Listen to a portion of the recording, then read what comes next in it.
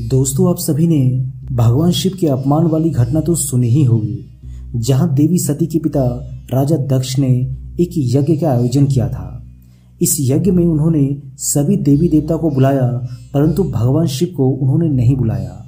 अपने पति का अपमान का बोध होने के कारण देवी सती उस यज्ञ में कूद जाती है और अपने प्राणों का त्याग कर देती है। दोस्तों, आपको जानकर यह आश्चर्य होगा कि आज भी वो जगह हमारे भारत में मौजूद है जहाँ पर ये सारी घटनाएँ घटी थी। आज भी वो जगह मौजूद है जहाँ भगवान शिव ने राजा दक्ष का सिर काटा था। आज भी वो यज्ञ कुंड मौजूद है जहाँ देवी सती ने आत्मदाह किया था। दोस्तों, इन जगहों को जब आप देखेंगे तो आप आश्चर्यचकित हो जाएँगे कि आज तक हमें ये जगह क्यों नहीं दिखी थी। नमस्कार दोस्तों, आपका स्वागत है अद्भुत टीवी इंडिया यूट्यूब चैनल में। वीडियो अच्छा लगे तो वीडियो को लाइक, शेयर और चैनल को सब्सक्राइब ज़रूर कर दीजिएगा। तो चलिए इस वीडियो की शुरुआत कर लेते हैं। हरिद्वार से लगभग चार किलोमीटर दूर एक बहुत ही पुराना मंदिर है, जिसे दक्षेश्वर मंदिर के नाम से जाना जाता है। इस मंदिर का निर्माण 1810 में रानी धनकौर ने करवाया था और उन्नीस सौ बासठ में इसका पुनः निर्माण किया गया। मंदिर तो बाद में बना, लेकिन ये जगह पहले से ही यहाँ पर मौजूद थी। मंदिर के बीच में शिवलिंग विराजित है। ये मंदिर भगवान शिव जी के भक्तों के लिए भक्ति और आस्था की एक पवित्र जगह है। भगवान शिव का ये मंदिर देवी सती के पिता, राजा दक्ष प्रजापति के नाम पर रखा गया है। इस मंदिर में भगवान विष्णु के पाँव के निशान बने हैं, जिन्हें देखने के लिए मंदिर में हमेशा श्रद्धालुओं का तांता लगा रहता है।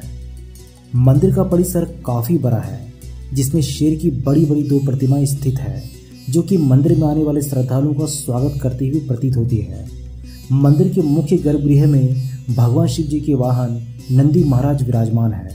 कथाओं के अनुसार राजा दक्ष द्वारा भगवान शिव का अपमान सती सह नहीं पाए और यज्ञ की अग्नि में कूद कर अपने प्राण त्याग दिए। माना जाता है, जब ये बात महादेव को पता चली तो उन्होंने गुस्से से दक्ष का सिर काट दिया। देवताओं के अनुरोध पर भगवान शिव ने राजा दक्ष को जीवन दान दिया और उस पर बकरी का सिर लगा दिया।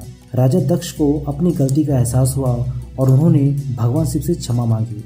तब भगवान शिव ने घोषणा की कि हर साल सावन के महीने में भगवान शिव यहाँ पर निवास करेंगे। यही कारण है कि सावन के महीने में यहाँ भक्तों की ज़्यादा भीड़ उमड़ती है। दुनिया के सारे मंदिर में शिव जी के शिवलिंग के रूप में पूजा की जाती है। यहीं पर एक ऐसा मंदिर है जहाँ भगवान शंकर के साथ साथ राजा दक्ष की धर के रूप में पूजा की जाती है। सावन के महीने में जो कोई भी यहाँ जलाभिषेक करता है, उसकी सारी मनोकामनाएँ पूरी हो जाती है।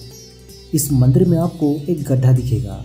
ये कोई आम गड्ढा नहीं है, बल्कि ये वही हवन कुंड है, जिसमें देवी सती ने कूद कर अपने प्राणों का बलिदान किया था। दोस्तों, जब आप उत्तराखंड आए तो इस मंदिर के दर्शन करना मत भूलिएगा। यहाँ तक आने का पूरा पता हमने आप सभी के लिए वीडियो को डिस्क्रिप्शन बॉक्स में मेंशन कर दिया है। मैं हूँ आपका दोस्त प्रदीप जल्दी मिलता हूँ आप सभी के साथ एक नई वीडियो के माध्यम से। तब तक के लिए अपना ख्याल रखिएगा।